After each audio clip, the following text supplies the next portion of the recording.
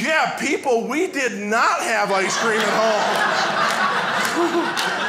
no, my parents are getting older. They're doing older, crazy parent things. My dad, he was one of the cheapest guys I know. Anyone here have a cheap parent? Yeah, right. All right, all right. To be fair, to be fair, my dad was kind of cheap. He was the kind of cheap that when I used to say, hey, dad, can we stop for ice cream after Little League Baseball would say, uh, we don't need to stop for ice cream. We have ice cream at home. Yeah, people, we did not have ice cream at home.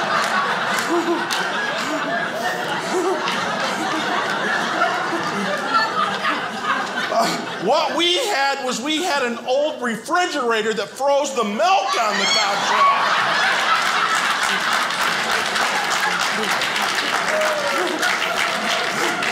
Yeah, if you throw in some Nestle Quik Boy and chip at it with the hammer, you'll have ice cream. Yeah. My dad, he's in his 70s though. In his 70s, he went out and bought a $68,000 Lincoln. Yeah, yeah, he paid cash for it. So now I know why we couldn't stop for ice cream all those years. You. Cool, it's cool, yeah. No, my, my dad, like I said, he's in his 70s. And you know what those Lincolns are? They're these great big behemoths of a vehicle. They got this big screen TV in the dashboard. They got a camera on the back. And I said, Well, that's great, Dad. Now you can watch all the stuff you're going to back over.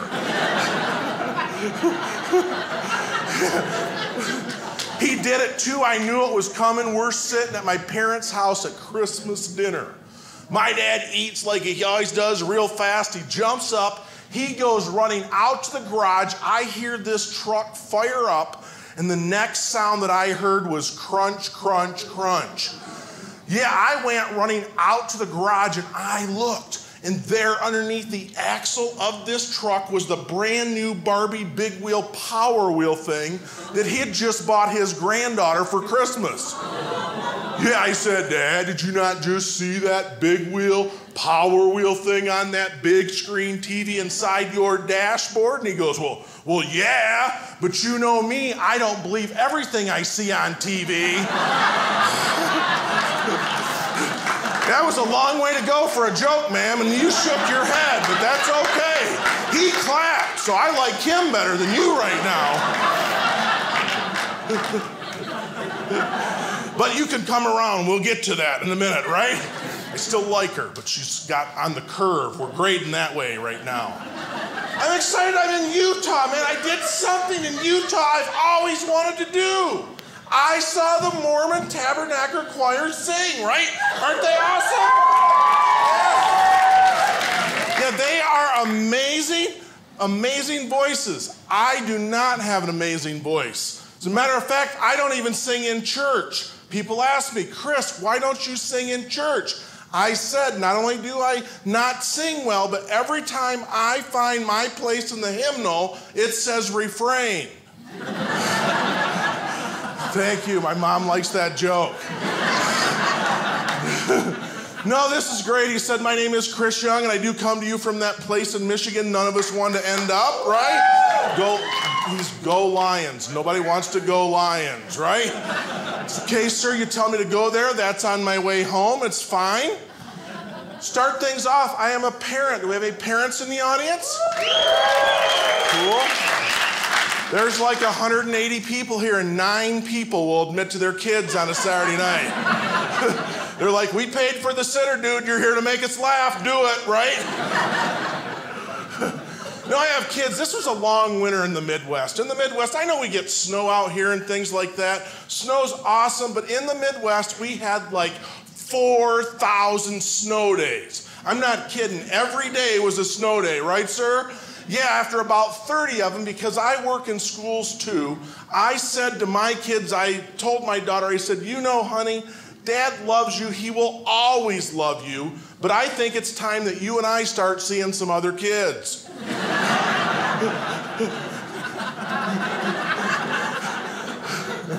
It's okay, right? They're there too. It's cool though, I'm a parent. I have kids, but I have parents. How many people in here have parents? 15 this time. 15 will admit to their parents. They're going, dude, it is not Sunday yet. We don't have to go pick them up, take them to church. take them out to eat at Bob Evans. then get them back before Jeopardy or something comes on, right? Yeah, I don't know. I have parents, they're getting older, and I love my parents to death, so don't get me wrong. I, they, I cleared this with them. They said I could make as much fun of them as I want as long as it gets them a better nursing home someday. yeah, people, I am not in Vegas, I am in Provo, Utah tonight. So unless they don't like sleeping in a minivan, they better get to stepping. No, my parents, though, they're getting older. They're doing the older parent things, right? Anyone have older parents that you're worried about? Few people? Yeah. yeah. We have this attorney, and he comes to me, he goes, You know, Mr. Young, he goes, I don't want to scare you, but you are now the executor on their will. Say something happens to him, you're going to be the one that gets the call from the hospital or say the police. And I am thinking, and I said, Police, obviously you've seen my parents, sir. but I had that mom. I had that mom. She told me, she'd say, You know, Christopher, I don't care what you're doing, who you're doing it with, as long as you are safe and as long as you never call me from jail because I am going to pretend like I don't know who you are. yeah, that's redeeming, isn't it? Thanks, Mom, right? Well, people, I lived up to my end of the bargain. I never went to jail. Now, one night at college, my roommate who couldn't run as fast as me, he, he went to jail. When I said cops and he said what, that was too long of a time not to start running.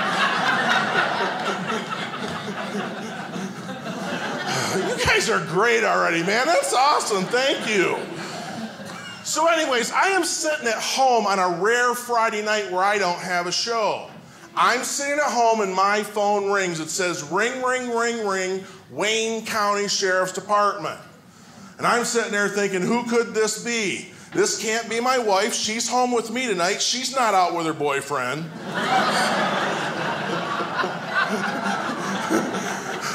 Long as she pays her half of the mortgage, sir, I don't question. It.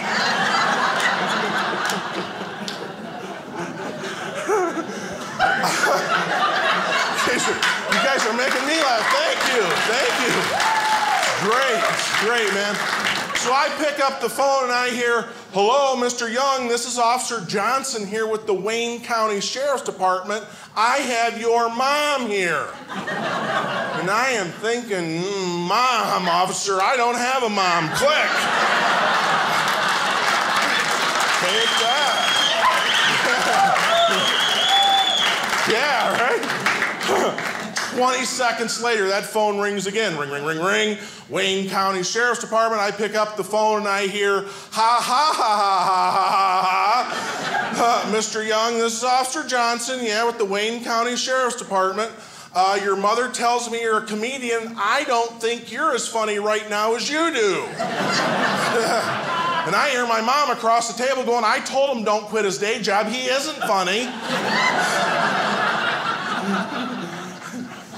he goes, Mr. Young, I have your mom here tonight. And he goes, I would like to get rid of her. and I am thinking, now, officer, you are the one speaking my language, man. I'm the executor. You have a gun and taser, dude. Let's make this happen. Thank you. Wow. Man, I don't know if you guys can see this up here, but these lights are hot. I feel like I'm on one of those rotisseries you see in a restaurant.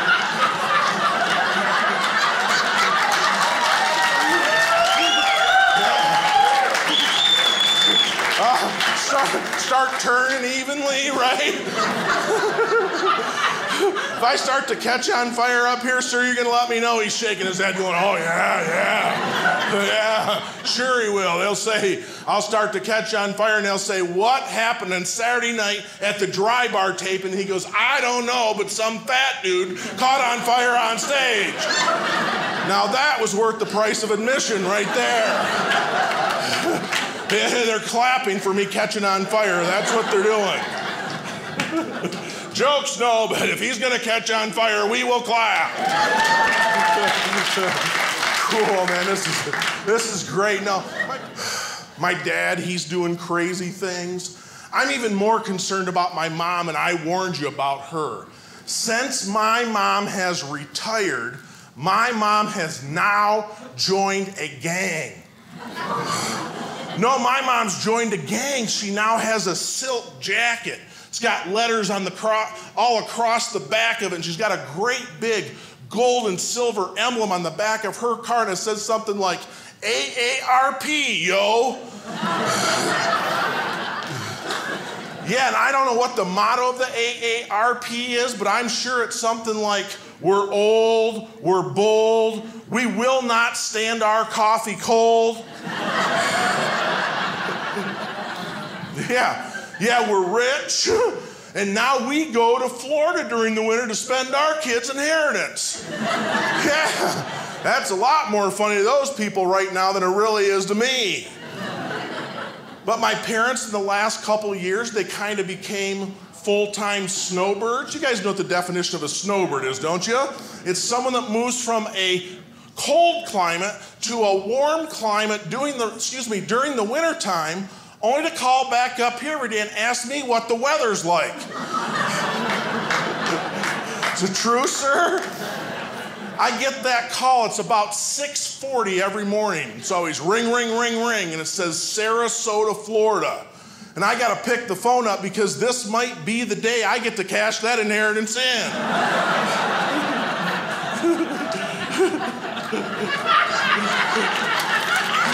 yeah. And I always say something stupid. I say, cash call from Florida.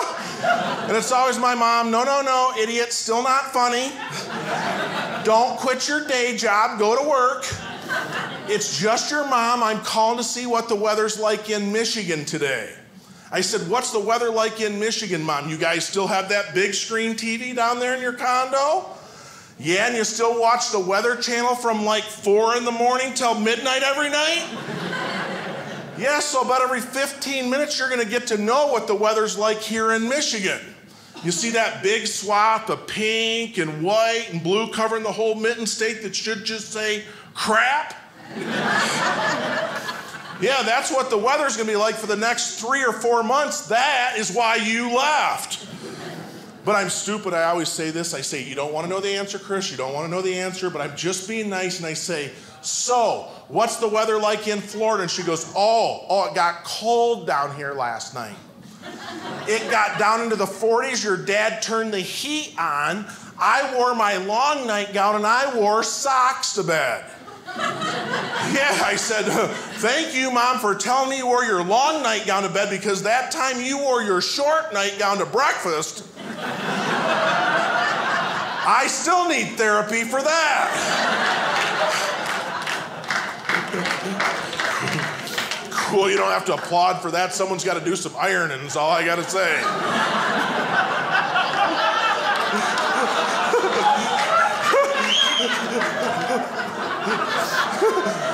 cool. Man, this is awesome. It's fun. No, my parents, my parents, they're getting older. And these people, now that I became a parent myself, they came these super evil villains called grandparents, right? The kind of people that never did anything wrong. Now they want to give me parenting advice. Yeah, people look at me. These aren't people that should be giving anyone any advice for anything. My dad will just say stupid things. He'll say, uh, uh, Hey, boy, come over here for a minute. Let me tell you something. He goes, Do you know what you need to tell your kids to do when they are riding in the back of an open air pickup truck down the highway? And I am thinking, Dad, because of idiots like you, we can no longer do that stuff.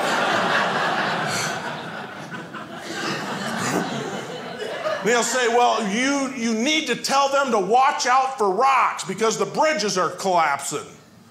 That's sound advice there, genius, right? Just like he would do. He'd be driving one hand and put that little McDonald's sliding window open and yell, Hey, hey, you kids, be safe back there. And then he would flick his cigarette out and we'd have to jump out of the way.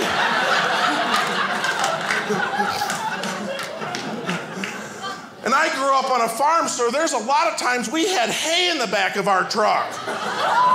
Yeah, and you haven't lived till you had to stomp out a fire going down the expressway.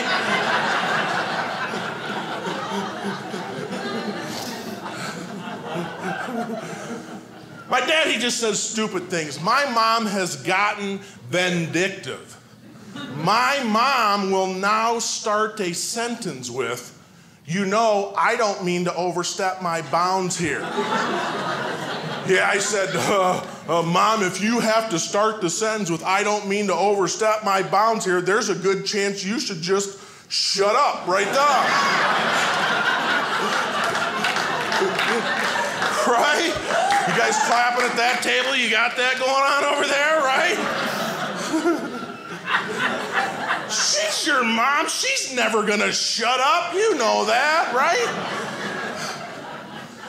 She comes to me one day, she comes to me and she goes, You know, Christopher, you know, Christopher, I don't mean to overstep my bounds here. And I'm thinking, Well, here we go. she goes, I just heard this. I just heard. I'm thinking, You've either watched or read something on TV again, right?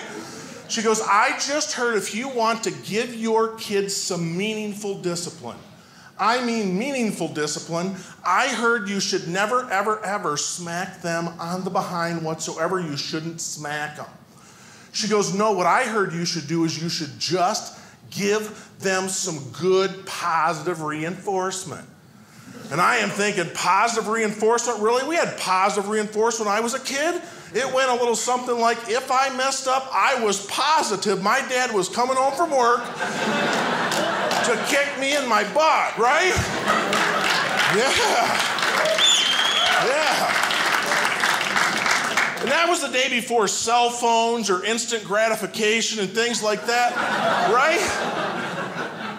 My mom couldn't interrupt my dad at work. They'd have had to page the whole plant and he was a millwright, and if they woke him up from his nap,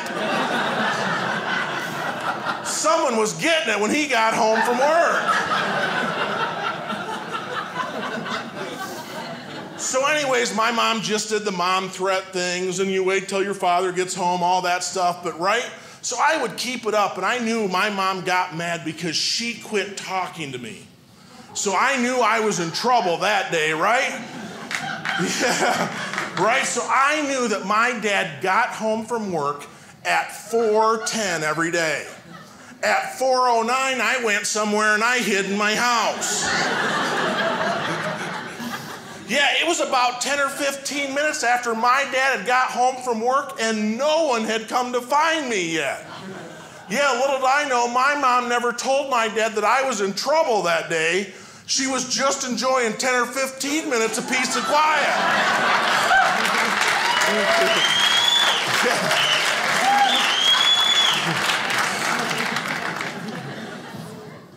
People that have kids or had kids, is there anywhere in your house that you can hide that your kids can't find you in a half a second? Nowhere. I can't find my kids in my house. I can come in, yell at them for the top of my lungs. I can't find them, don't know where they are. So, you know what happens now, though? I think they can't hear me. But the time that I think they're asleep and I pop a soda, suddenly they're all ears. Dad, Dad, what do you got? Right? So I can't find my kids in my house. But do you know now where I go in my house if I want to find my kids where I go? I just go to the bathroom and no sooner does my butt touch that toilet seat and they find me. You clap at that one, thank you. You guys know how it is, right? At my house, it's almost like a horror movie. I'll get home from work and I'll come run in there and find that little half bathroom that's got all my good catalogs and stuff. And I'll go run and sit down. And no sooner does my butt, like I said, touch that toilet seat, and I hear it. It starts down at the end of the hallway. It's this.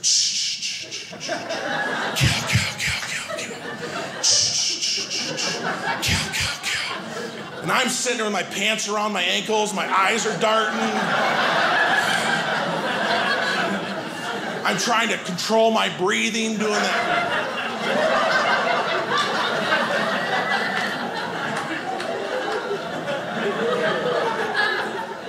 And at my house, I have wood floors, and my daughters are never not wearing like these hard plastic Barbie clip clop shoes up and down my wood floors. And I hear her coming, it's this horrible clip clop, clip clop, clip clop, clip clop. And she's always singing something stupid all the time. And I hear her coming, and she's singing, Baby Shark, doo doo doo doo, Baby Shark, doo doo doo doo. And I'm sitting there on the toilet trying not to get wrapped and go, Daddy Shark, doo doo doo doo doo.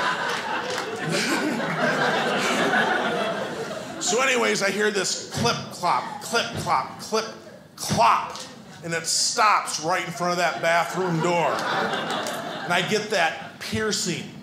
Daddy, Daddy, are you in there going potty? Because I have to go potty. And I am thinking, your dad just raced home from work, so he didn't go to the bathroom in his car. and then have to burn it on the side of the road somewhere. And explain to your mom and the rest of us why we got to go car shopping today. Because you've all seen that, haven't you? You'll be driving down the road, sir, and you'll come up on this car that's just all burnt out. It looks like a barbecue. And I think, was that a dude that did not make it home to his bathroom?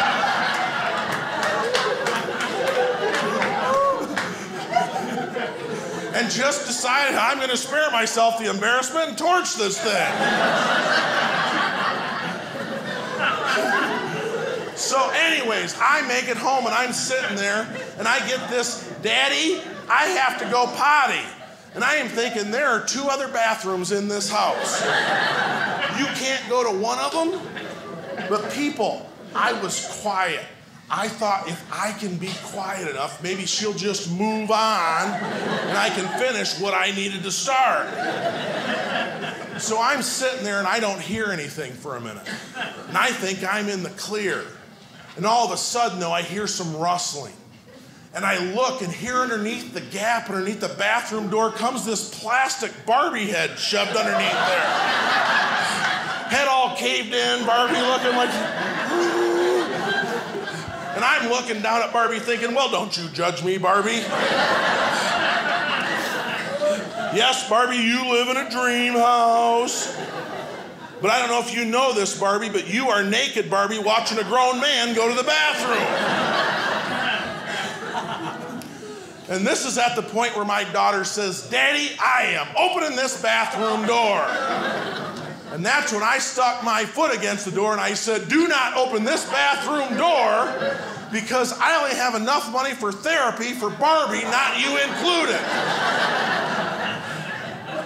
But I hear this a lot now. I hear this a lot from people. People always tell me, people say, Oh, you got to watch out for kids nowadays. These kids are so much worse than when we were kids. I don't think that kids are any worse. Do you guys think that kids are any worse? Yeah, a few of them are going, yeah. Man, have you seen them? They got their pants pulled way down. You can see their underwear in the crack of their butt hang out half the time. They got holes poked all through their face if they ever sneeze with a soda in their mouth. It looked like a launch sprinkler went off somewhere.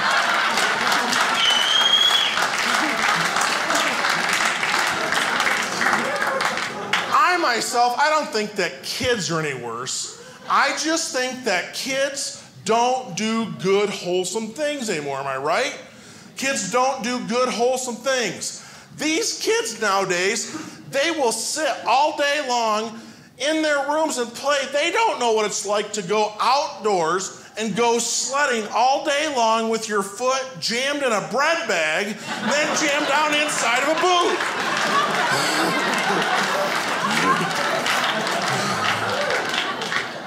Few of you people in here, you guys remember these Wonder Boots? Yeah, we wondered why our feet got frostbit, didn't we? And sometimes my mom wouldn't even take that last piece of bread out of the bottom of the bag before she'd stick my foot in there.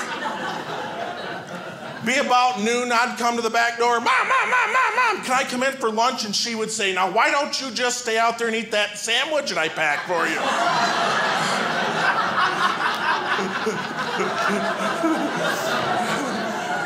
it's sick, but you're with me. I like you guys for that. I like you.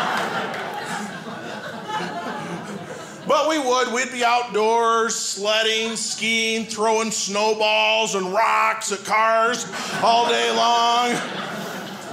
Till you'd get that one guy, man, he would throw his car and park and jump out and chase us kids yelling, I'll catch you one of these days, you wait. And the only reason I remember that's I'm now the fat dude that couldn't catch those kids.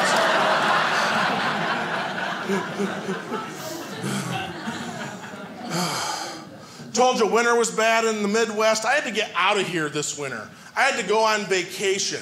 Anybody in this room ever been on a vacation? I gotta ask that, man, because a few places I play, they're like, oh no, dude, since they put that Walmart in town, we don't have to go anywhere. We can get beef jerky and suntan oil. Who still, who still uses suntan oil?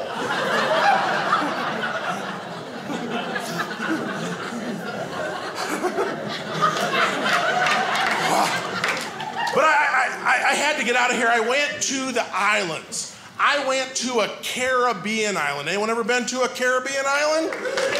Woo, yaman, yaman. I went to Jamaica. And do you know what I found that the only thing that the people of Jamaica do fast is the one thing? Drive. Good God, that bus ride from the airport to the resort was white knuckle. My butt was puckered tight down to the seat of this bus. And I am sitting there and I am praying every way I know to God at this point. Why, this bus driver, he's driving up and down hills and around corners, and there's goats and mopeds. And up this mountain road, we go 3,000 feet up. There is no guardrail. And I look over, and there is the ocean. And there was also a busload of people that weren't very good at praying.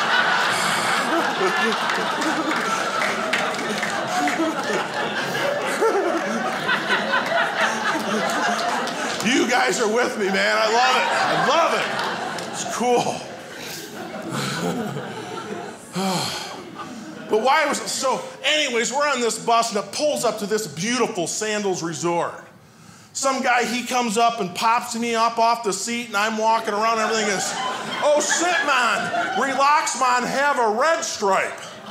I said, have a red stripe, dude. How about getting me my luggage so I can get rid of this brown stripe and I have down the back of my underwear?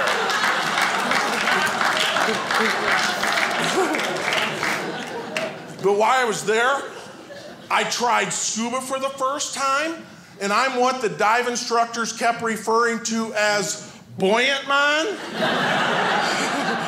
yeah, I don't know about you, dry bar, but I think that is a fat joke. hey, Provo, you guys have been a lot of fun. My name's Chris Young.